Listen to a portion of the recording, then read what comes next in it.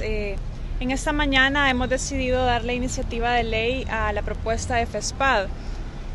Cuando se eligen magistrados para la Corte Suprema de Justicia, para cámaras de segunda instancia o incluso jueces de primera instancia, estos funcionarios sabemos que van a impartir justicia. Y debe ser un requisito no solo puesto en papel, sino un requisito también que pueda comprobarse el hecho de ser personas con una honorabilidad notoria y que además hay un aspecto muy importante que es que esas personas tienen que gozar de confianza frente a la ciudadanía en general, deben de ser percibidos como personas confiables. Por eso también es importante este tipo de propuestas que, que, está aportando FESPAD, que lo que pretenden es mejorar el proceso que ya existe para nombramiento de jueces y de magistrados.